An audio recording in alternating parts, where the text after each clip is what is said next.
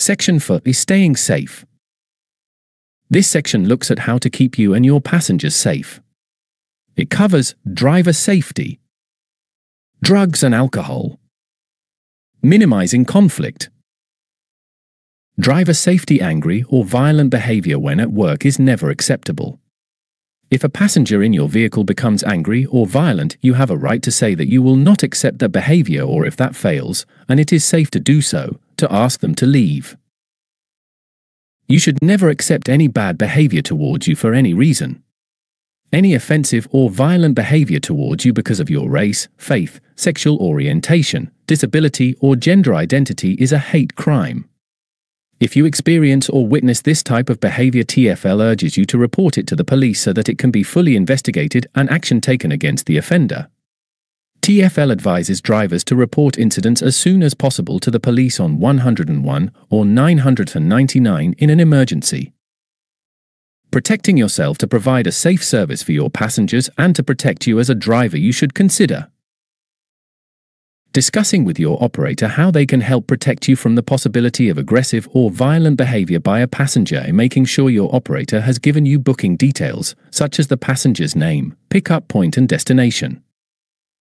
Checking the passenger's name and destination before they get in the vehicle, this will help make sure the passenger doesn't get into the wrong vehicle.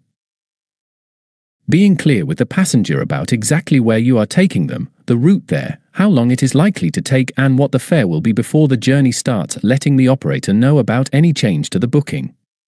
The operator must then tell the passenger what the new fare will be, Carrying a lone worker device or asking your operator to provide you with one all these steps should reduce the risk of any disagreements. If a passenger is aggressive or violent, tell your operator immediately and give them the passenger's full name and address if you know it. 19. In an emergency, call the police on 999. Warning signs of possible aggressive behavior Some behavior is a sign that someone is becoming more angry and upset. Below are signs that someone might become aggressive, tapping their fingers, crossed arms, hands held tightly in fists, aggressive staring, a raised voice, an angry expression, a sudden change in behavior, a change to the voice. Trust your own feelings and never try to ignore these signs. If you feel concerned, act immediately. Remember, the earlier you notice a possible problem, the more choices you have to avoid it. Drugs and alcohol When someone has taken drugs or has drunk alcohol, it can affect their ability to think or communicate clearly and their behavior can be difficult to predict. In some cases they may become aggressive.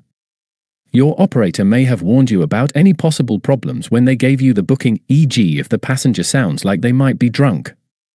You can also judge the passenger's physical and mental condition when you pick them up. If you have concerns then, contact your operator immediately.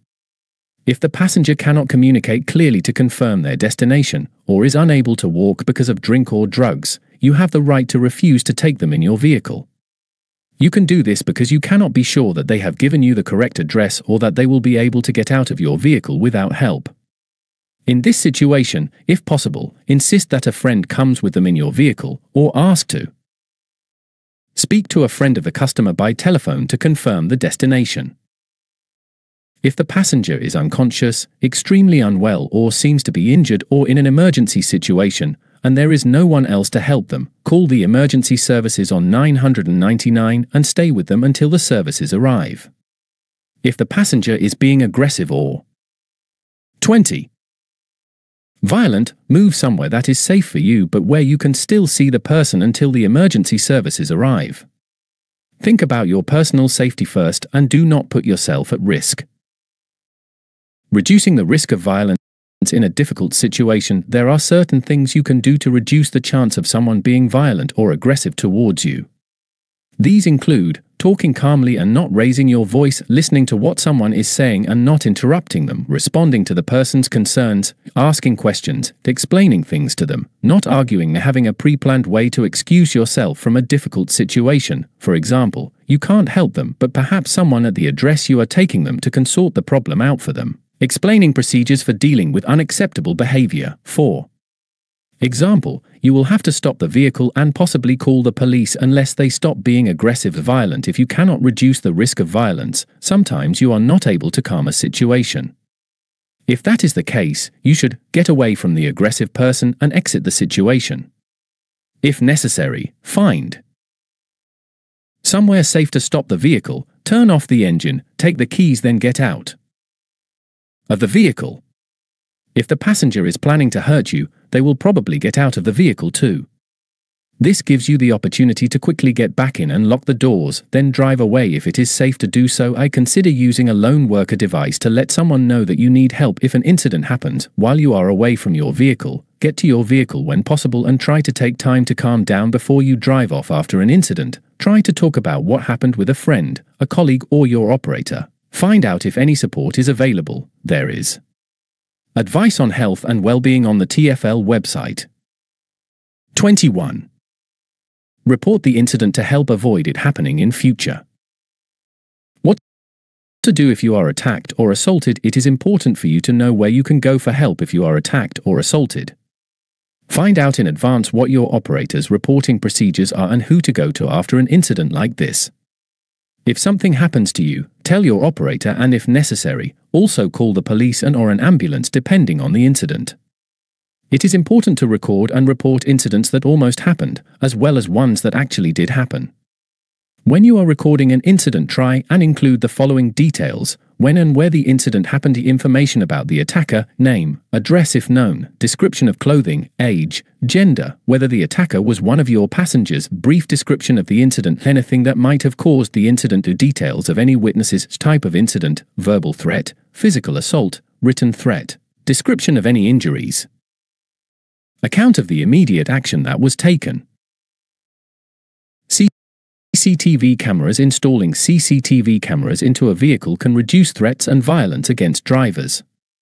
Signs in the vehicle informing passengers that CCTV is used may also help to prevent aggressive or violent behavior. You can buy a camera or rent one.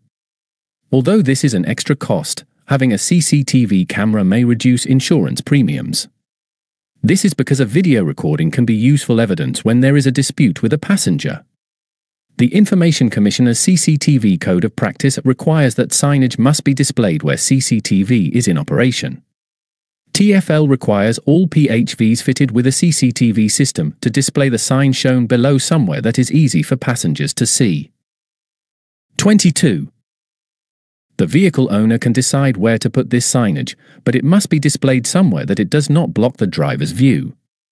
It must also be as visible as possible to passengers as they enter the vehicle and while they are traveling in it. TFL CCTV sign